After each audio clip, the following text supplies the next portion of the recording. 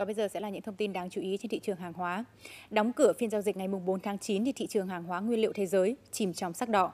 Lực bán áp đảo đã kéo chỉ số MXV Index giảm 0,45% xuống mức 2.090 điểm.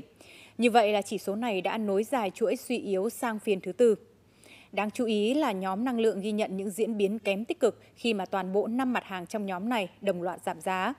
Giá dầu WTI đã giảm gần 2% xuống mức 69 đô la Mỹ một thùng. Giá dầu Brent thì lùi về ngưỡng 72,7 đô la Mỹ một thùng. Theo Sở Dịch hàng hóa Việt Nam MXV thì à, giá dầu thế giới nối dài đã suy yếu do áp lực đến từ yếu tố vĩ mô và tín hiệu nguồn cung à, tích cực. Cụ thể, thị trường vẫn đang tỏ ra thận trọng về chính sách sản lượng của OPEC cộng khi mà kế hoạch bơm dần nguồn cung trở lại của nhóm trong tháng 10 vẫn chưa chắc chắn. Hiện nguồn cung tại Libya đang có nhiều tiến triển tích cực và nguồn cung của nhóm dự kiến sẽ ổn định trở lại.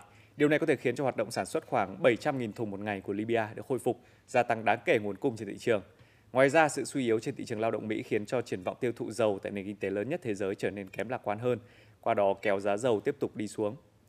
Ở chiều ngược lại thì đà giảm trên thị trường à, phần nào được hạn chế sau báo cáo tồn kho từ Viện Dầu khí Mỹ API.